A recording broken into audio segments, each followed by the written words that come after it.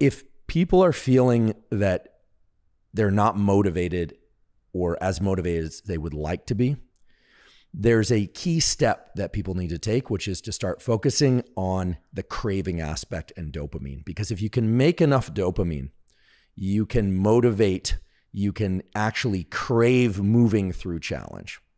So we can talk about how to do that.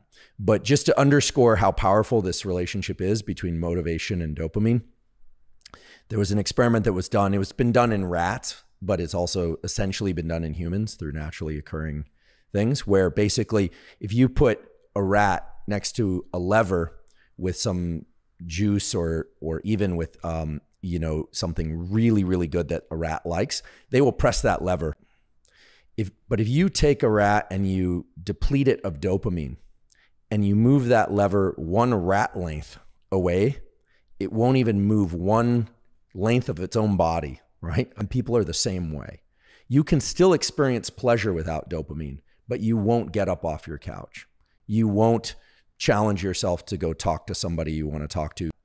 But if people are living in fear, it is absolutely essential to understand that developing some sense of craving, even if it feels scary, you know, wanting something but being afraid to pursue it, that's the the trigger for these molecules to start being released and to move towards it. But we've all sort of um, been told or conditioned that if we feel fearful, that that's a sign that we should back away or stand still.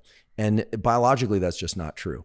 So if people are feeling paralyzed in fear or they are feeling as if they, you know, are unmotivated, it's absolutely essential that they identify some kernel, some little bit of something that draws them forward. And if they feel that agitation, the kind of elevated heart rate, the anxiety, a little bit of sweating, this kind of thing, you know, just imagining that they want that thing, that's great. Those are the molecules that I'm talking about starting to kick into gear.